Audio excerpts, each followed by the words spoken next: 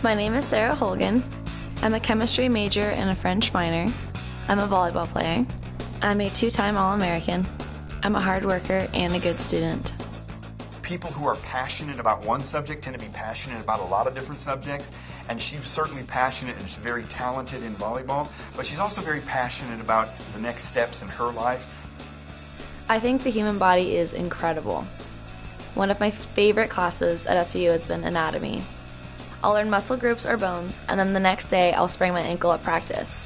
But because of that class, I'll know all the muscles that attach to it and I know how to fix it.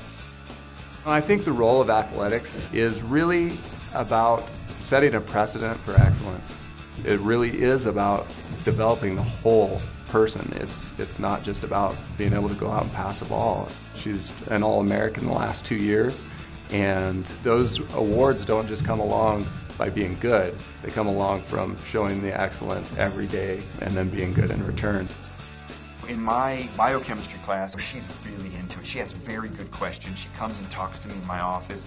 You know, she often wants to take the next step. She wants to talk about the next thing, the thing we haven't gotten to yet. And that sort of excitement is sort of infectious.